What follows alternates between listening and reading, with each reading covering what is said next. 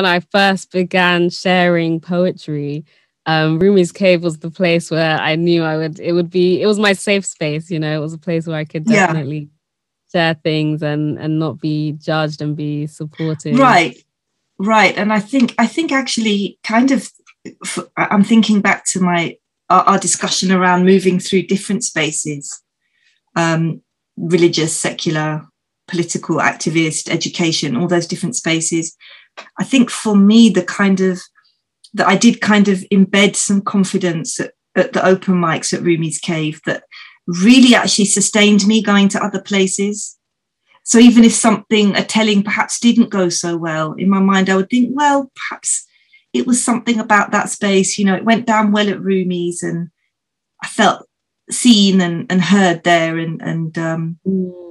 It kind of gave me a bit of a, a secure base, you know, in that, in those kind of terms of confidence and support, I think, solidarity. I wanted to ask you, Rakaya, specifically about the, the open mic at Rumi's Cave, because I think it's a really interesting part of the kind of Northwest London community and, and part of many people's creative process.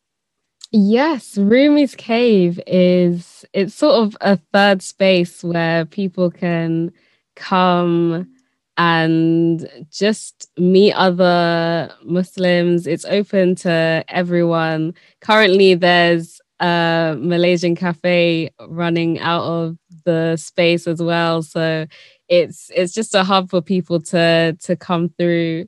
Um, and it's a place where you can find Islamic lectures and they are currently doing Jummah prayers. It's not a masjid, but it is, and it also supports uh, artistry in different forms. So the whole place is full of um, wonderful visual art pieces. And we also host an open mic there um, in that space.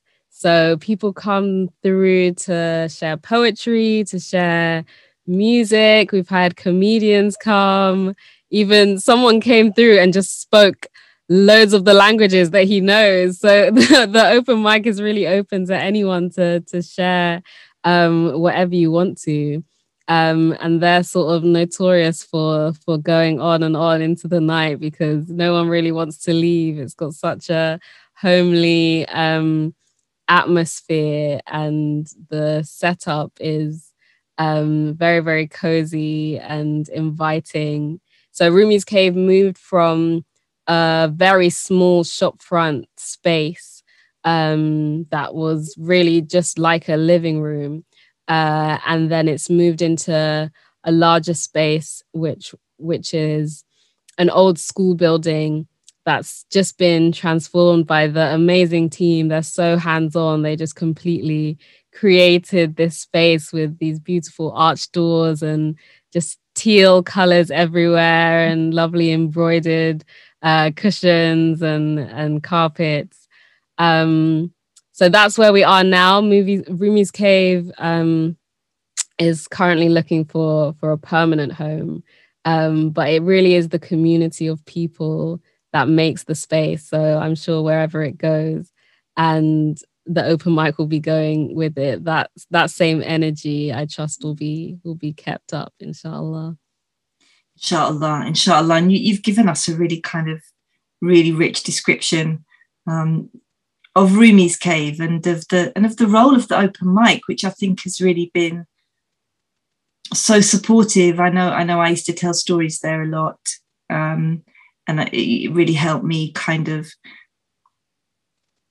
practicing and telling stories, finding my voice. And I think it's been such an important place for a lot of people who've who've gone on to develop various art forms or work via via, you know, the open mic at Rumi's Cave. So you've given us a really great introduction and description of the community. Thank you, Rakaya. No problem. The same for me actually. And that's so so necessary for creating artists who can go out into different spaces. It's it's great to have that place that can can nourish and and feed the art before going out and and sharing it further. I think so, and to feel, I think for me, it provided as well thinking about it now with you, a sense of solidarity as as as artists who, who who've got some form of devotional art form as Muslims. Actually, we're taking very different, but we're taking our our work and our efforts and our intentions, and they're manifesting in in whatever art form they are that has a spiritually influenced, a spiritually inspired, and Islamically inspired spirit to it. And I think the solidarity of the Rumi's open mic group and community really supported that. I, I, I think it would be hard to do it alone, actually. Mm. Thinking about it now with you. Mm.